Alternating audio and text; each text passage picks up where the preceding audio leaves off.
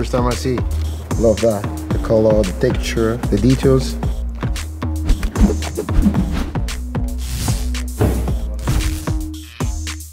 Be ready because with this one, I'm gonna be top.